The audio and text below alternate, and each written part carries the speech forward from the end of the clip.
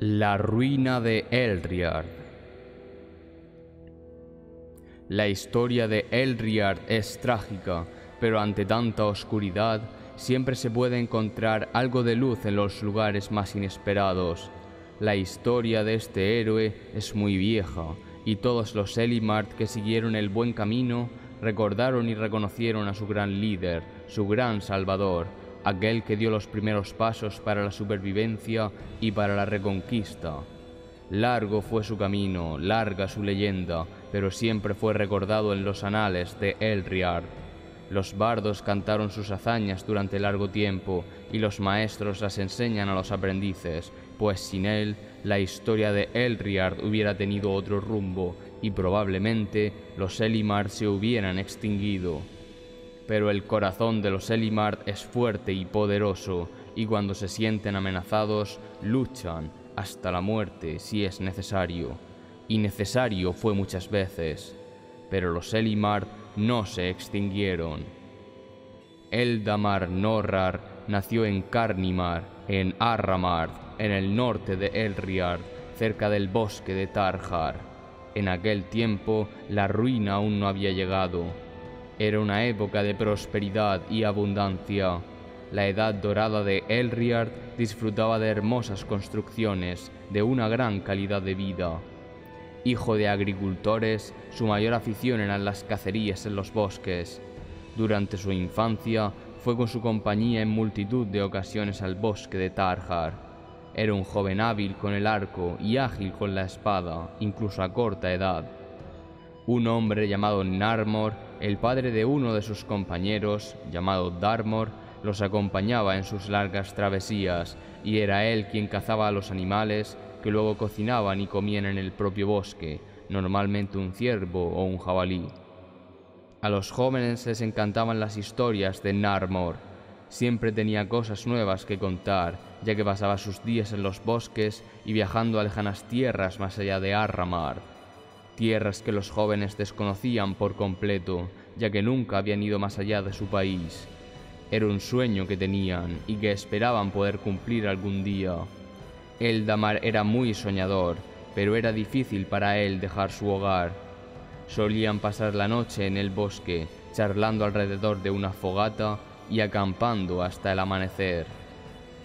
El periodo dorado de los Elimard estuvo marcado por un gran bienestar y un gran crecimiento en su modo de vida. Eran seres relativamente pacíficos, aunque fuertes y orgullosos en carácter. Grandes monumentos fueron levantados. Uno muy notable y que ganó la admiración de muchos de los Elimard fue el Castillo Dorado para el rey Marenar II Catar de Arramar. La monarquía de Elriard no era por sucesión, a no ser que el descendiente tuviera vocación. Los reyes siempre habían sido líderes fuertes y firmes, con claros propósitos en la prosperidad de su pueblo. Cuando el descendiente no quería ser rey, normalmente un familiar estaba dispuesto, pero si esto fallaba, el rey era elegido por la población.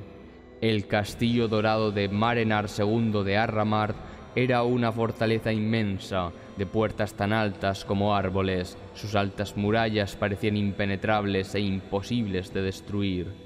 Su torre más alta, la llamada Torre de la Energía, era un observatorio y a través de esa torre se dice que todo Elriar podía ser visto, pero no solo todo Elriar, sino que además los demás planetas de Alente se podían observar con gran precisión, aunque como diminutas esferas en la lejanía.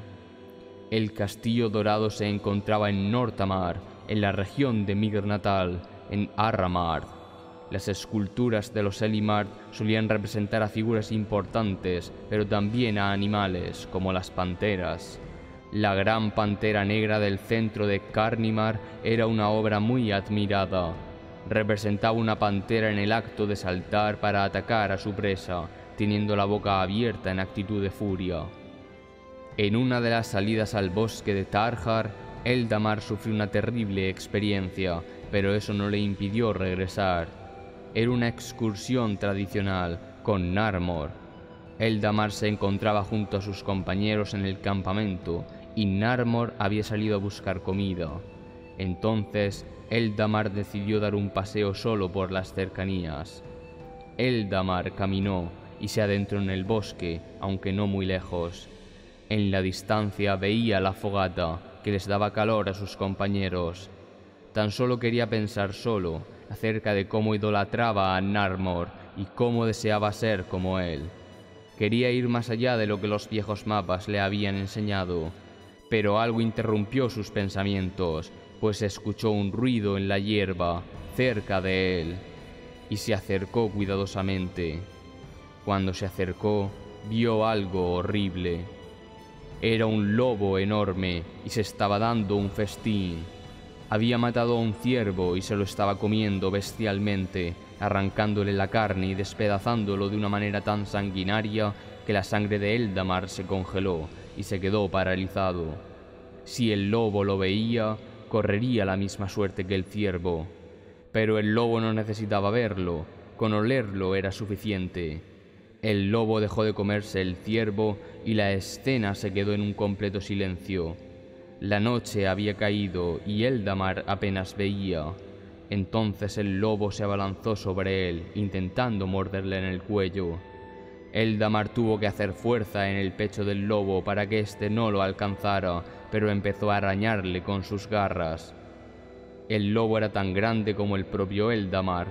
No le quedó otra opción. En medio de aquel caos y de aquel dolor, sacó su espada con la mano derecha y la hundió en el pecho del hambriento animal. El lobo dejó de arañarle y de intentar morderle el cuello, y ya no hubo fuerza en él. El lobo murió, y Eldamar se quedó paralizado, allí, en el suelo, sin poder moverse por el terror. Escuchó gritos y pasos cada vez más cerca de él. Al parecer, tanto sus compañeros como Narmor habían escuchado los ruidos de la lucha. En cuanto Narmor vio a Eldamar, se arrodilló, apartó el cadáver del lobo y empezó a tocarlo rápidamente para comprobar sus heridas.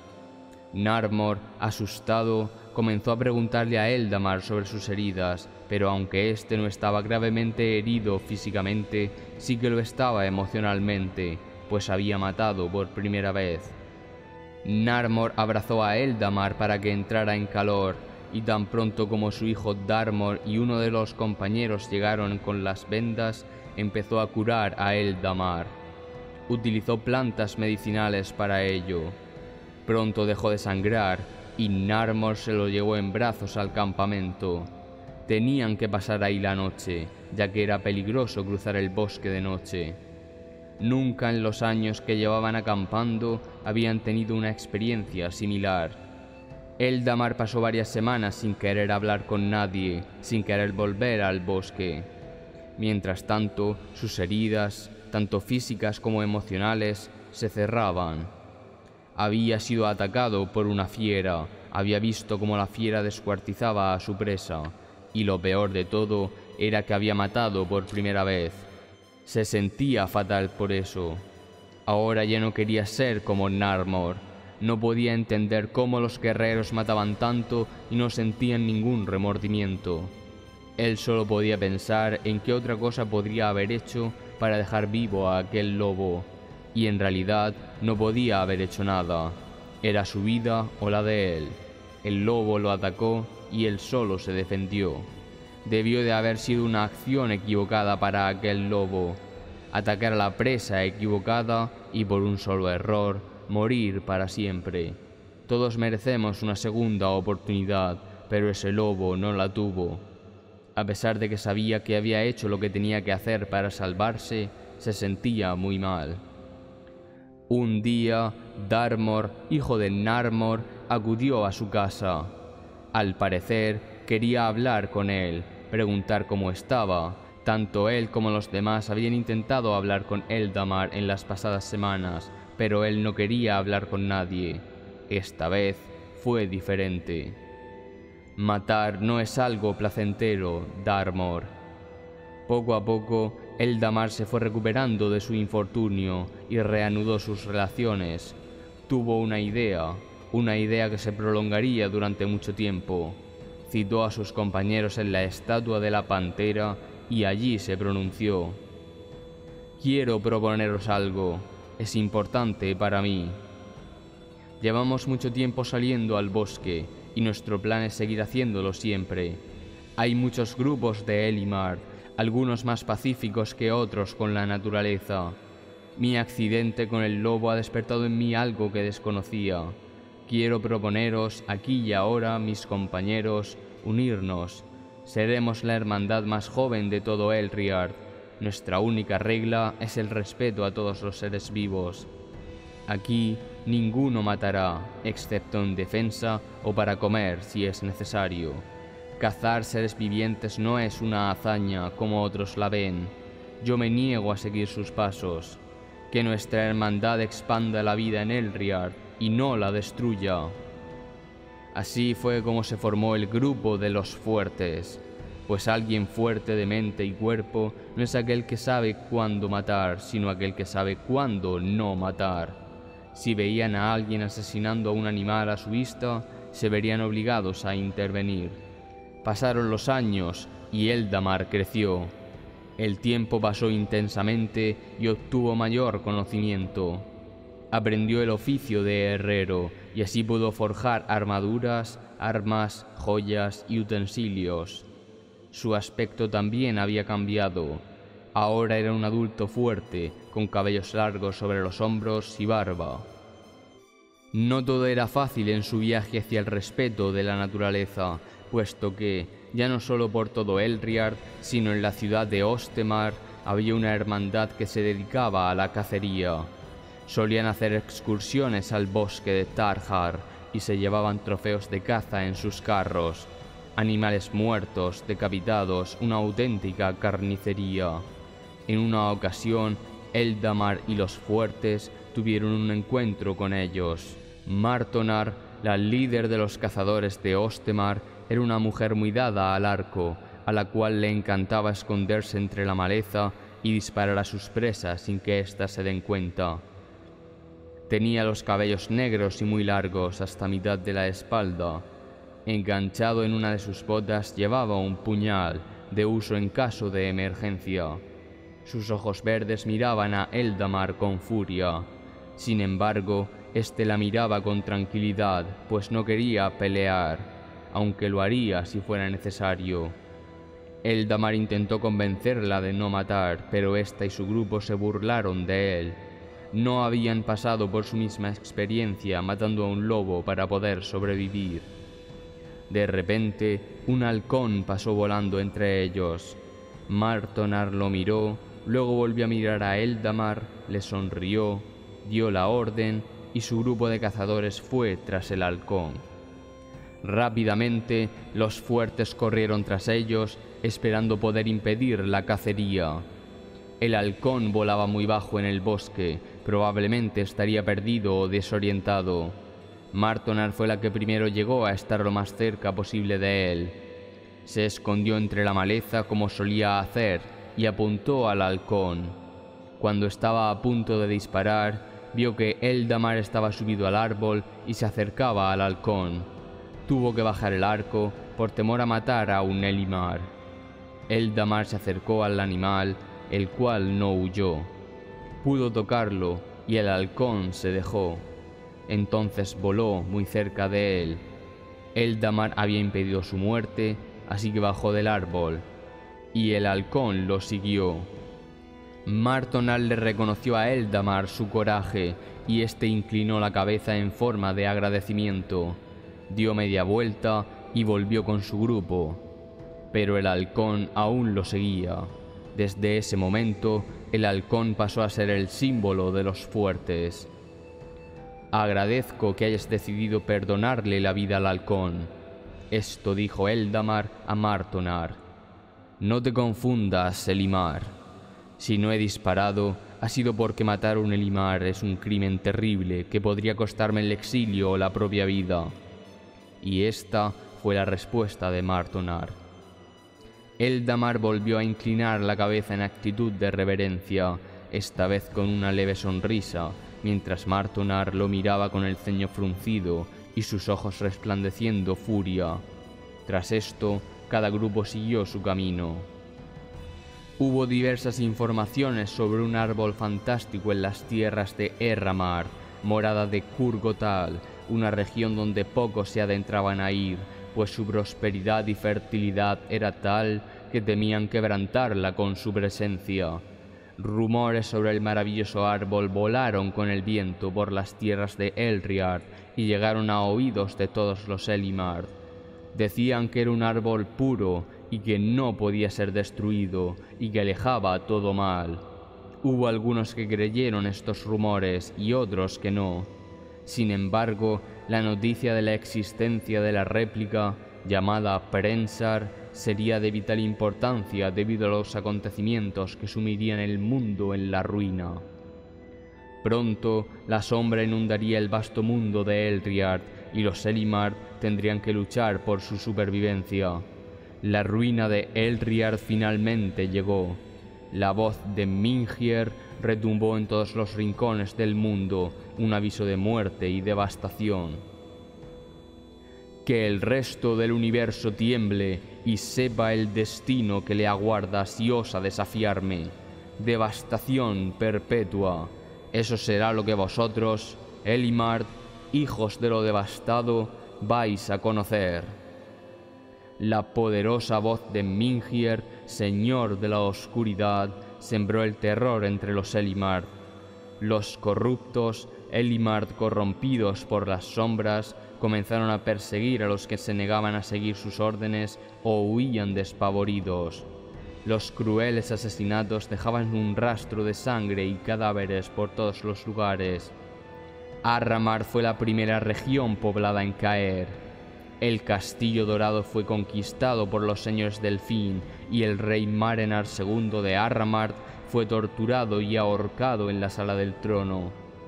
Las banderas con el símbolo de Elriard la espiral de energía fueron quemadas y en su lugar se colocaron unas banderas con un símbolo extraño que fue llamado el agujero quebrado, símbolo de Mingier y su poder destructivo, representado como una esfera carcomida con una especie de péndulo desligado. Eldamar, ya adulto, intentaba poner a salvo a los Elimar de Carnimar, los fuertes lucharon valientemente contra los corruptos y consiguieron poner a salvo a muchos de los que huían aterrorizados. Pero la situación era incontenible, pues las sombras eran poderosas y nada podía hacerles frente. Eldamar y su hermandad lucharon valientemente en la guerra de los tres días, pero en vano.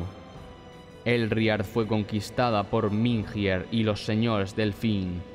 Lo único que los Elimar supervivientes podían hacer ahora era esconderse o morir. La guerra de los tres días dejó un rastro de sombra por todo el mundo, unas nubes negras cubrían el cielo y los rayos de sol no penetraron de nuevo en la tierra. Solo el día tenía la suficiente luz para que algunas cosechas pudieran crecer, pero la tierra se volvió infértil y el mundo se volvió lúgubre y oscuro la época dorada de Elriard había acabado. Los seguidores de Eldamar se refugiaron en el bosque de Tarhar. Las noticias de que Elriadar completo había sido arrasada eran perturbadoras.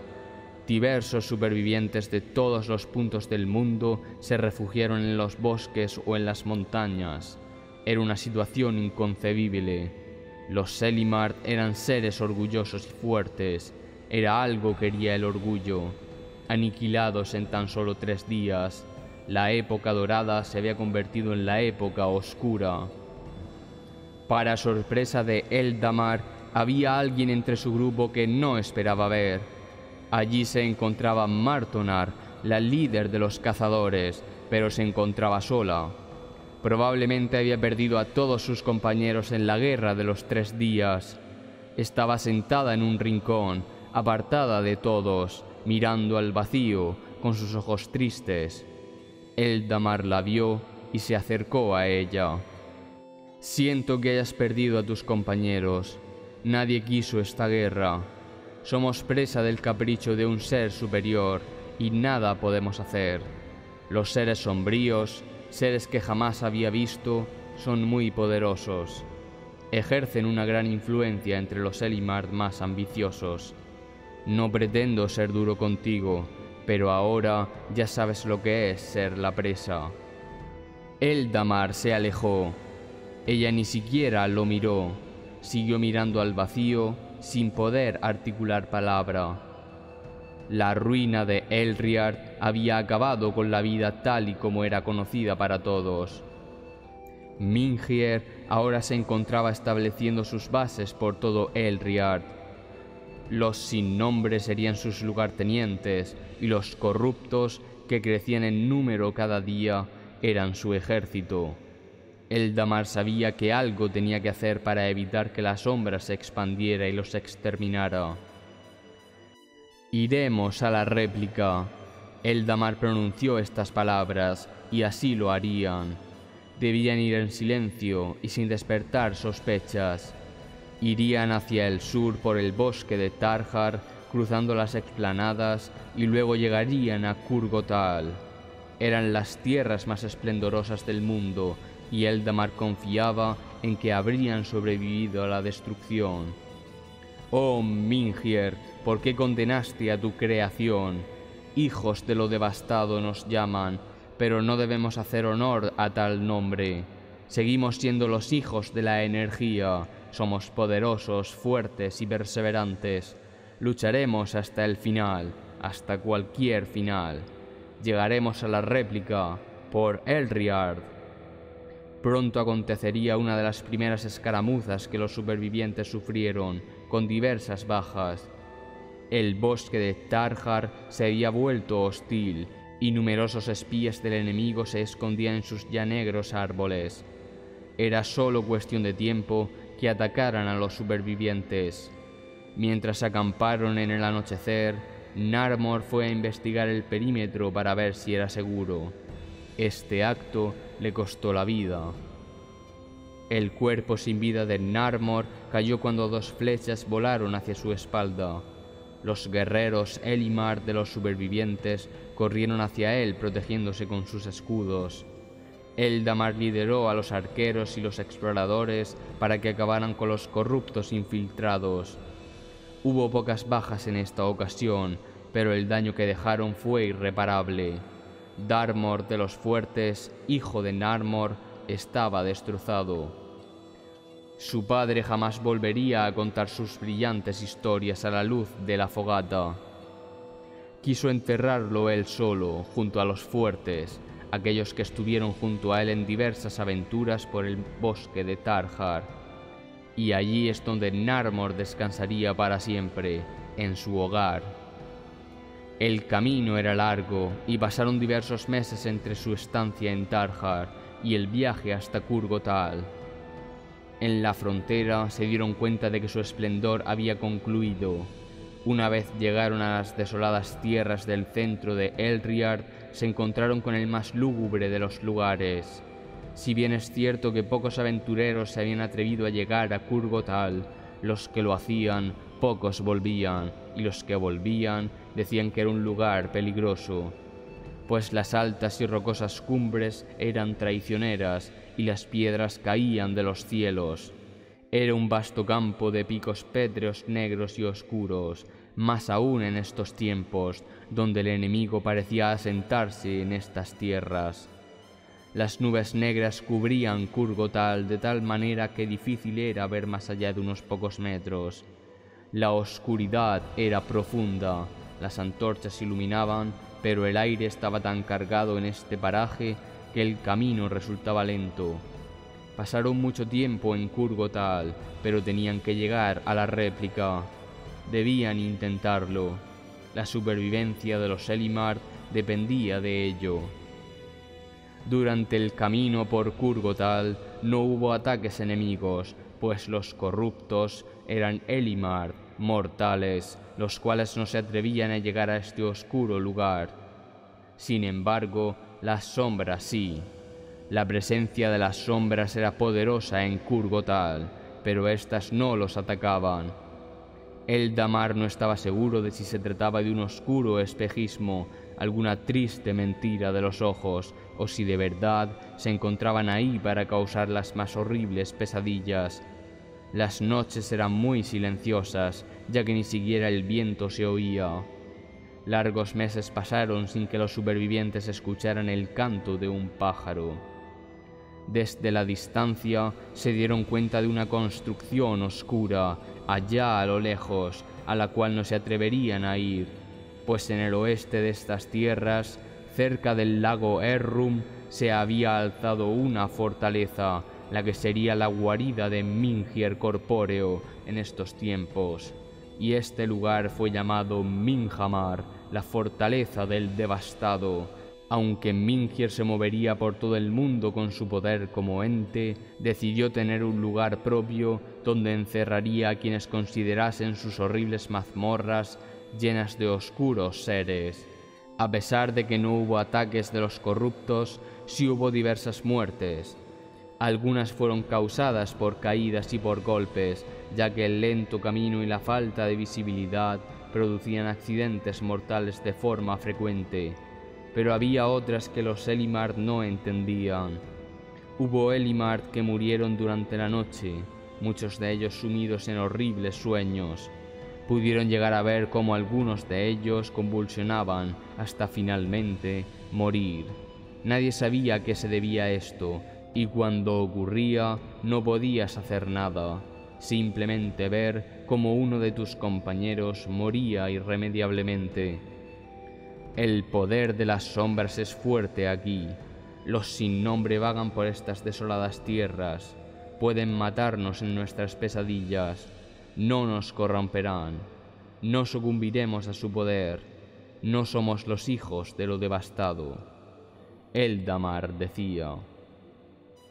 Los sin nombre seguían allí, y a cada paso que la compañía daba, más sombras aparecían, pero se quedaban allí mirándolos, no se movían. Era un escenario perturbador. Muchos de los Elimard comenzaron a desvariar ante tal escenario, llegando incluso a suplicar la muerte entre llantos para no tener que volver a ver nada más. Estaban sufriendo demasiado. En uno de los descansos, Martonar se acercó a Eldamar. Él se encontraba solo, sentado y pensando en qué podía hacer para salvar a sus semejantes. Era lo que más le preocupaba. No habría llegado hasta allí si no fuera por la réplica. Estaba convencido de que obtendría ayuda de ella. Cuando vio que Martonar se aproximaba, la miró fijamente hasta que ella se sentó a su lado. Este lugar me inquieta, pero a la vez me fascina es increíble cómo pueden con solo su presencia provocar tanto temor. Eldamar la miró. No estaba de humor para escuchar halagos hacia el enemigo, pero sabía que Martonar no lo decía en ese sentido. Siempre fue curiosa, a pesar de su sed de sangre como cazadora. La cara de Martonar se había vuelto más pálida. Desde que el sol dejó de brillar, los rostros de todos dejaron de iluminar.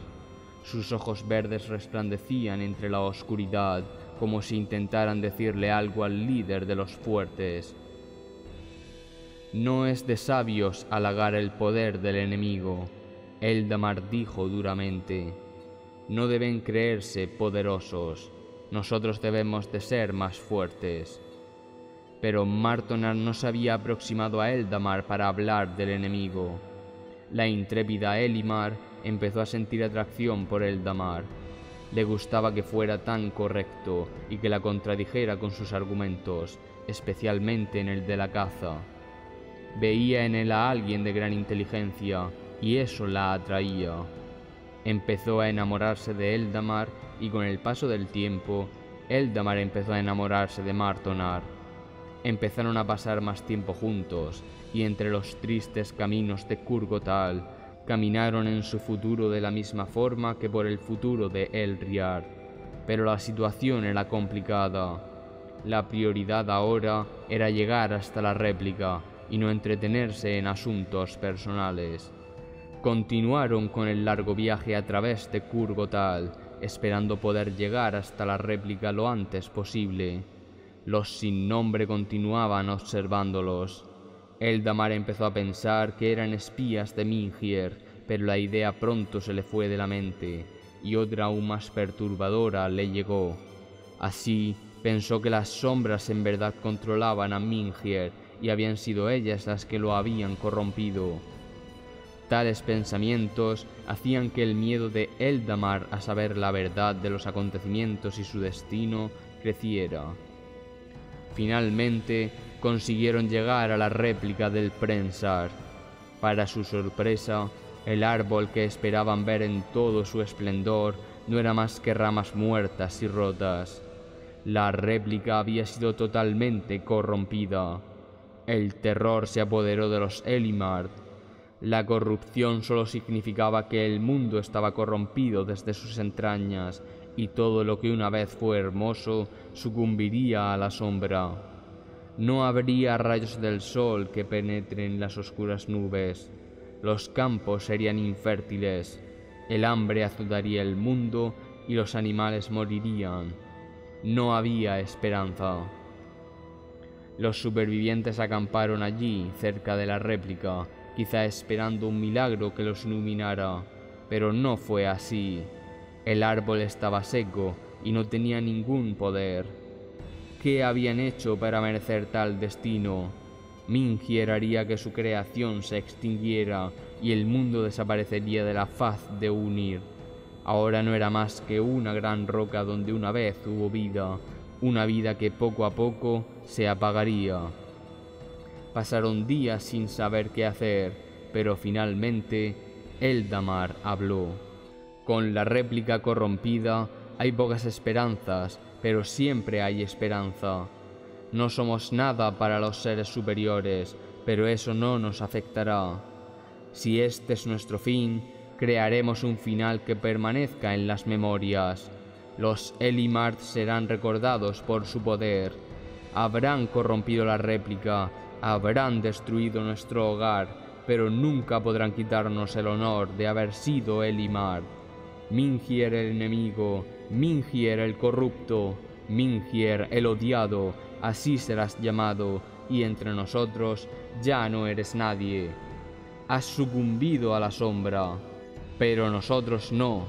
Nosotros somos Elimar, somos más poderosos que tú, y te haremos frente. ¿Me oyes, Mingier el devastado? Los gritos de Eldamar hicieron tronar el cielo Relámpagos cayeron por todo Elriard. La furia de Mingier Elkar se había despertado, pero aún no era la hora. Tenía asuntos más importantes que hacer. Cuando el coraje y el honor de los Elimar fueron devueltos con las palabras de Eldamar, los supervivientes decidieron abandonar Kurgotal por el sur.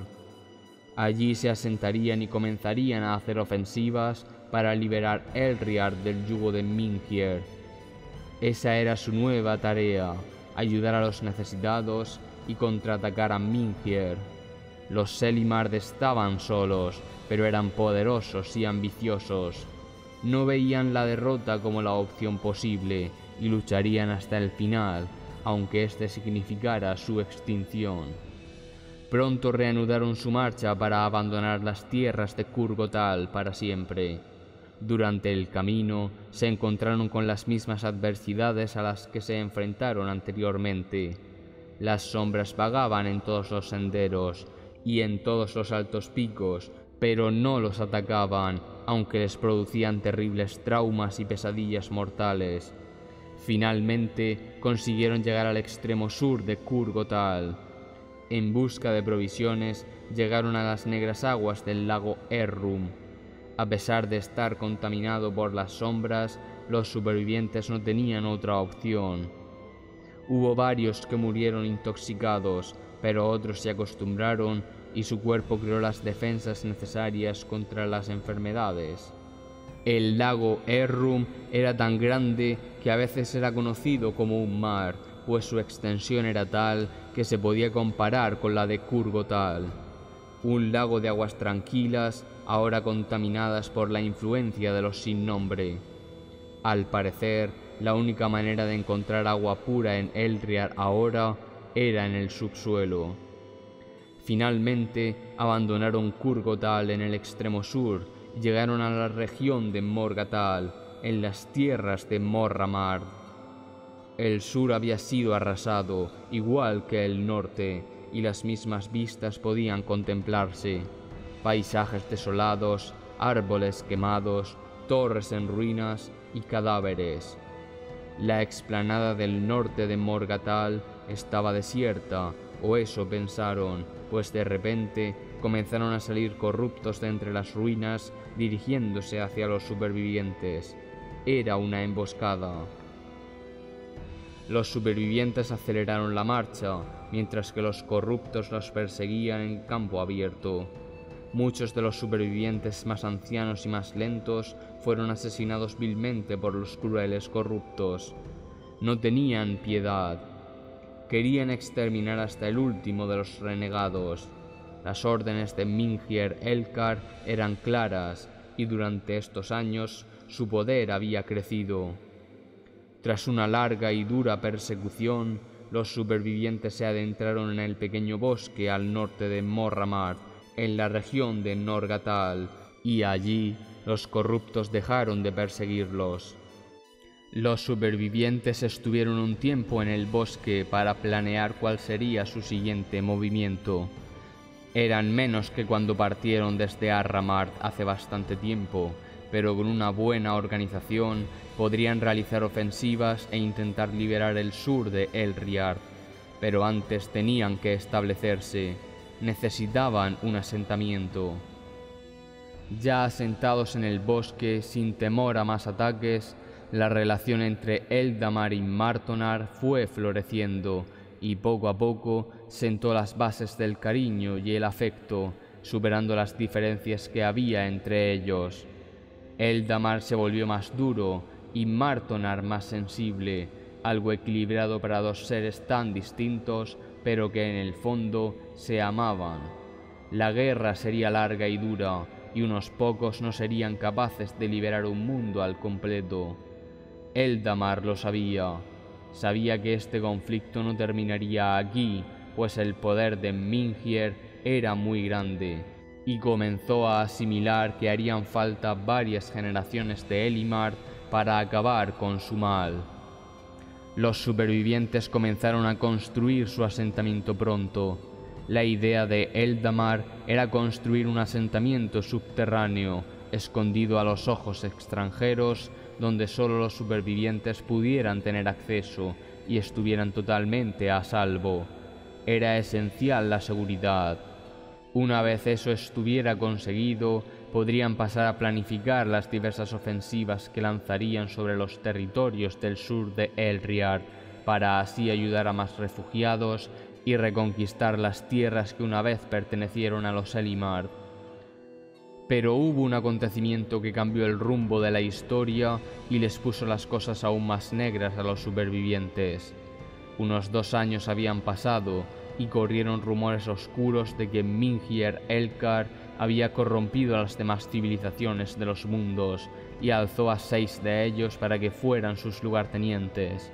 Los Aanzi, los lugartenientes sombríos, fueron levantados en sus respectivos mundos, pero a Elriar le esperaba un destino aún peor, pues Mingier Elkar, el señor del vacío, el enemigo, el traidor, el devastado tomó forma corpórea.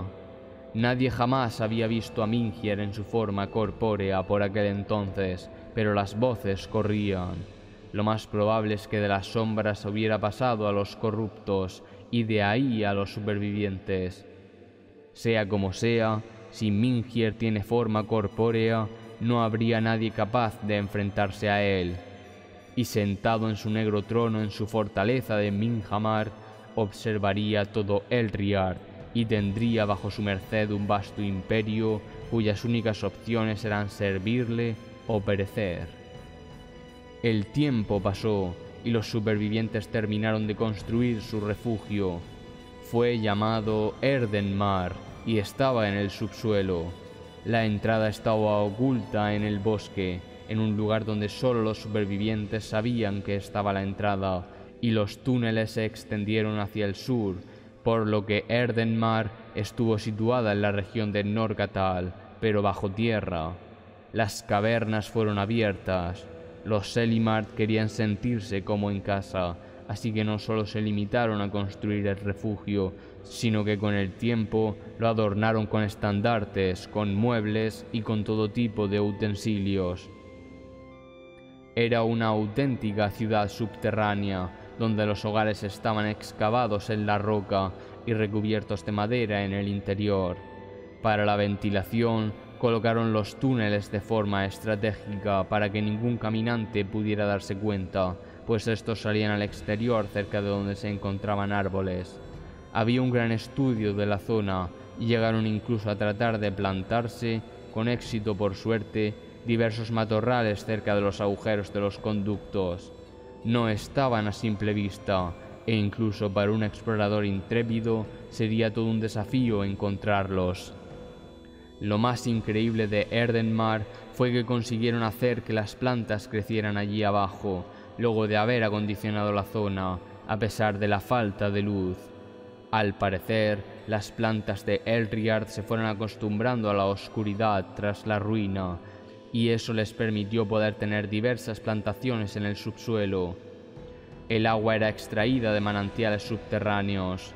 Los supervivientes estaban cubiertos y seguros. Era el momento de trazar los planes para las ofensivas había que liberar el sur de Elriard. Así se trazaron planes.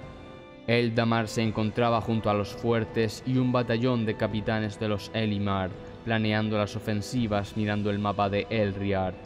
Usarían el río Riner como punto estratégico.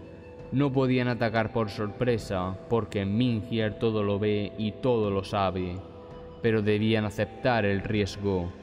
Sin embargo, Eldamar pensó que sería más arriesgado ir todos juntos, así que acordaron separarse y luego reunirse en el final. Primero iría Eldamar con sus jinetes a las explanadas y luego Darmor se aproximaría a Rodmar sin atacarla, mientras Martonar irá a Disenmar y los esperará.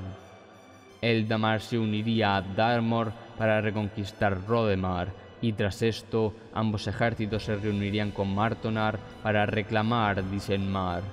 Sin embargo, lo más complicado sería el país de Durramar, pues era un lugar oscuro. Pantanos muertos habitaban en este lugar infestado de enemigos. Los exploradores más valientes habían detectado la presencia de un mal sobrecogedor. Pensaban que había tanto sombras como corruptos, lo que haría aún más difícil la lucha. Los planes estaban trazados. Pronto comenzaría la marcha. La guerra continuaba en Elriard y los Selimar debían prepararse para contraatacar. El halcón que acompañó a Eldamar desde hace muchos años voló y se posó en su muñeca. Nunca se había separado de él. El tiempo de preparación se alargaría, pero el día finalmente llegaría. Martonar se acercó a Eldamar pues estaba intranquila por los planes de guerra y tenía miedo. Ella había sido la líder de los cazadores y había matado mucho, pero nunca se imaginó estar en una guerra. Era demasiado para ella. Simplemente lo miró y ambos se abrazaron. Estuvieron largo tiempo abrazados hasta que finalmente soltaron los brazos y se miraron. Martoner estaba lista para comenzar su marcha. La primera partida fue la de Martonar. Fueron necesarios varios años para preparar todo el armamento y sentar bien las bases de Erdenmar tras su fundación, pero al fin los Elimar iban a contraatacar. La primera partida fue la de Martonar, porque Disenmar era la ciudad más alejada de Erdenmar. Los tiempos de viaje y de batalla estaban calculados, aunque podía haber imprevistos. Martonar estableció su campamento en las montañas de Morgatal, mientras que la partida de Eldamar se movía hacia Norgatal. La segunda partida fue la de Darmor hacia Rodemar, cerca del bosque de Marhar. Tan pronto como comenzaron a establecer el campamento, casi al mismo tiempo que la partida de Martonar, la tercera partida ocurrió. el grupo de jinetes de Eldamar se dirigió velozmente hacia Norgatal. Por ahora, los planes iban saliendo a la perfección, sin ningún impedimento o imprevisto. Cada uno de los grupos tenía dos mensajeros para que en caso de derrota pudieran llevar las noticias a la siguiente partida. La ofensiva de Norgatal fue bastante rápida, si bien es cierto que el enemigo nunca fue reducido a nada del todo, el terror ante los corruptos fue sembrado y acabaron estableciéndose en campamentos apartados. Así, como no veía que nadie saliera siquiera, acabó por no prestarles atención. La escaramuza de Norgatal acabó a favor de Eldamar, pues los jinetes rápidamente podían acabar con los asustados enemigos a pie. Algunos intentaron hacerles frente, mientras que otros simplemente huían cuando veían al caballo correr hacia ellos con su jinete blandiendo la espada. La partida de Eldamar tuvo poco tiempo de descanso hasta que partieron junto a Darmor, cerca de Rodemar. Allí ambos grupos se unieron en uno solo y atacaron la ciudad. Los Selimard supervivientes eran valerosos y lucharon con bravura en la reconquista de Rodemar hasta que consiguieron expulsar al enemigo al este. Por desgracia, entre los caídos del grupo de Darmor, él mismo se encontraba. Fue enterrado allí, en Rodemar, y los Selimar le recordarían como uno de los más valientes de los fuertes. El enemigo huyó hacia el río Riner en dirección a Disenmar. Era algo peligroso, pues si el enemigo de ambas ciudades atacaba la partida de Martonar, ésta sufriría derrota por lo que los grupos de Eldamar y Darmor se apresuraron y descansaron lo menos posible para alcanzar a Martonar. Así fue como la ciudad de Rodemar fue reconquistada, pero quedó abandonada, pues debía pasar un tiempo hasta ver que era segura del todo para comenzar a repoblarla. Por ello, diversos batallones se quedaban de vigías en la ciudad. Una vez los tres grupos estuvieron reunidos, a los pocos días comenzó la reconquista de Disenmar. El enemigo era numeroso en aquella ciudad, puesto que se encontraban corruptos de todas partes del sur de Elriar, pero no fue suficiente para detener a los Elimar supervivientes, pues estos consiguieron otra victoria más. Y así los corruptos fueron expulsados y huyeron más hacia el este, hacia Durramar y sus negros pantanos. Las ofensivas concluyeron con éxito. Una vez finalizadas, dejando los vigías en cada ciudad, las tropas se dirigieron de nuevo a Erdenmar para reponerse. Los vigías eran abastecidos con carros de comida guardados por soldados. Allí en Erdenmar, Eldamar y sus compañeros prepararían la ofensiva final, un ataque a Durramar si el ataque de Durramar tenía éxito, el sur de Elriard habría sido reconquistado. Era demasiado poco tiempo lo que habían tardado en reconquistar las otras ciudades sureñas. Ciertamente, el poder de los Elimard era grande, pero una batalla en Durramard sería más complicada, puesto que el relieve haría que tanto una batalla a pie o a caballo fuera más costosa. Además, el terreno era desconocido y no sabían qué clase de enemigos se esconderían entre las putrefactas aguas. Se oyeron noticias del norte de Elriard. Corrieron rumores de que un tal Torgador, también conocido como el Maldito, había hecho un acto vil, pero a la vez valeroso.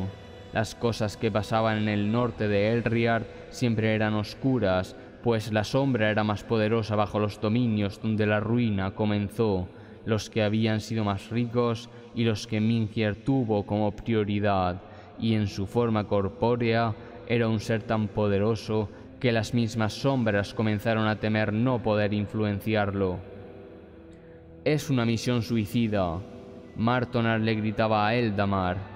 Estaban en una habitación a solas y Martonar se cuestionaba los planes de Eldamar no confiaba en la victoria, pues en los lugares desconocidos y sombríos siempre mora lo innombrable, y aquello es algo a lo que no es posible hacerle frente.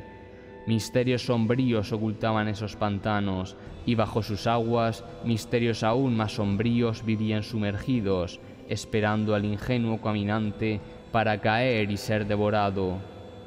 Los Selimard somos poderosos, saldremos victoriosos, y cuando regresemos nos uniremos y formaremos una familia. Nuestros descendientes serán tan fuertes y valientes como sus padres, y nuestras hazañas se contarán por todo unir pasado el tiempo. Martonar, te necesito a mi lado, ahora más que nunca. Después de esto, te prometo que habrá tranquilidad en nuestra casa hasta el final de nuestros días. Así fue como la situación se tranquilizó con esta promesa del gran héroe. El ejército de Erdenmar partió hacia Durramar exactamente diez años tras la ruina de Elriard. Se establecieron en Disenmar y desde allí partirían definitivamente hasta los desolados pantanos de Durramar. ¿Quién sabe lo que los esperaba allí? Cosas innombrables, enemigos, aguas muertas y una oscura niebla. Seguro era que no encontrarían ningún animal, ni pez ni pájaro en ese lugar. El ejército de Erdenmar llegó hasta Disenmar y tras unos días de abastecimiento partieron hasta Durramar. Pronto llegaron y se encontraron un panorama devastador. Durramar estaba plagado de campamentos enemigos, y lo peor era que hubo exploradores que avistaron sombras deambulando por los caminos. Era algo totalmente desolador, puesto que si los corruptos llevan tiempo viviendo en Durramar, ellos conocerían mucho mejor el camino y lo que habría que evitar. Pero esto no hizo que el ejército de Erdenmar diera media vuelta. Montados a caballo, los Elimard seguidores de Eldamar entraron en los vastos pantanos. Pronto los cuernos de guerra enemigos sonaron. Al parecer, habían sido prevenidos de alguna forma. Lo más seguro es que Mingier, desde su fortaleza, les hubiera advertido. Se escucharon cuernos de guerra y pasos de tropas por todos los rincones de los pantanos. El silencio dio paso al ruido y pronto vieron miles de antorchas cubrir la espesa niebla. No dejarían que los corruptos acabaran con ellos. Eldamar se adelantó y se dispuso a hablar a su ejército. Vosotros, Elimard, mis hermanos, no temáis en estos oscuros lugares, pues los Elimard son conocidos por su gran poder. Nuestra perseverancia nos ha llevado muy lejos, hicimos grandes hazañas, hemos reconquistado medio mundo en unos pocos años. Mingier es una sombra de lo que somos nosotros, él no es nadie. Mingier el enemigo, Mingier el traidor. ¿Quién es él para despojarnos a nosotros de nuestro orgullo? Nosotros Elimard, hijos de la energía, hoy lucharemos. No dejaremos que los traidores nos reduzcan a polvo. La ruina nos ha hecho sufrir mucho, pero ya basta. Los Elimard no sufren y perecen, los Elimard sufren y se vuelven aún más poderosos. Así que os llamo, hijos de la energía, en este día para liberar nuestra amada tierra y conseguir la libertad que antaño tuvimos. Recordadlo siempre, pues somos Elimard y los Elimard luchan hasta el final, hasta cualquier final, por Elriard, por nuestra tierra. Este fue el discurso de Eldamar antes de que la batalla de Durramard comenzara y los Elimard ganaron inspiración y con gran bravura y valentía se dirigieron hacia el campo de batalla. Los cuernos de guerra sonaron entre los jinetes de Erdenmar y comenzaron a galopar hacia el enemigo, que los tenía rodeados. Pero los Elimard eran poderosos, tenían mucho honor corriendo por sus venas y mucha ira y rabia que tenían que hacer pagar por todo el sufrimiento causado por Mingier. Durante la ruina hubo familias destrozadas, seres queridos asesinados, los crímenes cometidos por Mingier y sus esbirros no serían perdonados. Los Selimar no mostrarían piedad hacia nadie, ni siquiera a sus semejantes corrompidos. Los ejércitos se entrechocaron y comenzó una violencia que recordó a la guerra de los tres días. Las sombras se encontraban deambulando por la zona, pero no atacaban. No hacían nada, al menos aparentemente. Sin embargo, algunos de los jinetes caían de sus monturas por el pánico de las alucinaciones, y así los corruptos tenían la oportunidad de matarlos fácilmente. La batalla progresaba bien hasta que pasó la fatalidad que causó la mayor desesperanza. Eldamar, líder de los fuertes, fue alcanzado por una flecha que se le incrustó en su ojo derecho. Cayó del caballo al suelo, dolorido. Martonar vio como su amado caía y toda su vida cayó con él. Sin embargo, Eldamar era fuerte, el honor era poderoso en él, y una sola flecha no lo haría caer al abismo. Con el ojo inutilizado y la flecha aún clavada, volvió a montar en su caballo y aun estando débil, siguió matando enemigos. Los Selimar no podían creer lo que veían. Eldamar, con una flecha clavada en su ojo, seguía peleando valientemente junto a ellos, a pesar de que se lo veía débil. Una segunda flecha alcanzó a Eldamar en el pecho. Martonar, quien se intentaba abrir paso hacia él desde que lo vio caer con la primera flecha, no consiguió aún ponerse a su lado. Vio como esa segunda flecha le acertaba en su lado izquierdo del pecho. Eldamar ahora estaba sentado en el caballo, mirando hacia abajo, con la espada aún en la mano y el ojo sangrando. Trataba de respirar para sobrevivir. Una tercera flecha le alcanzó en el costado derecho, la cual hizo que se retorciera de dolor y finalmente cayera del caballo, para no volver a levantarse. La batalla de Durramar transcurrió y acabó en victoria para el ejército de Erdenmar. Los corruptos se replegaron y aunque los Elimar no pudieron contrarrestar a los sin nombre, habían triunfado.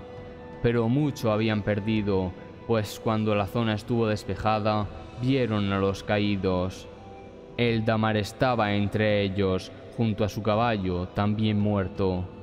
Martonar se arrodilló ante su cuerpo sin vida y lloró.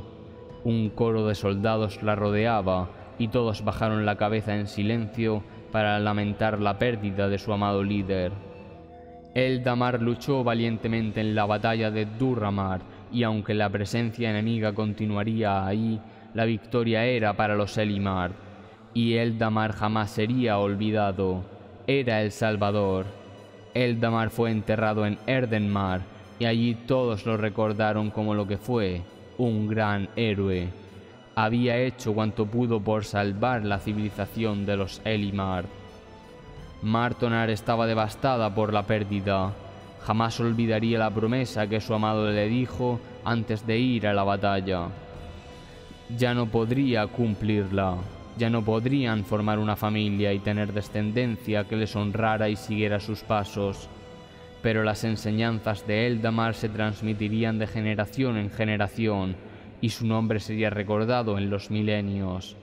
Los fuertes reclutaron a más miembros que siguieron las enseñanzas que las hazañas de Eldamar dejaron en la memoria de su pueblo.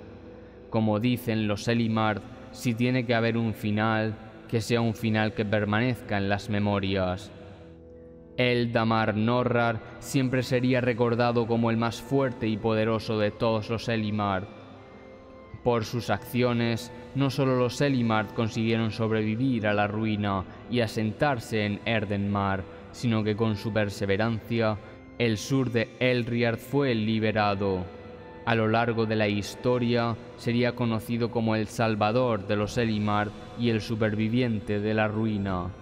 Eldamar Norrar permanecería en las memorias de su pueblo como aquel que logró que no se extinguieran hasta el fin de los días.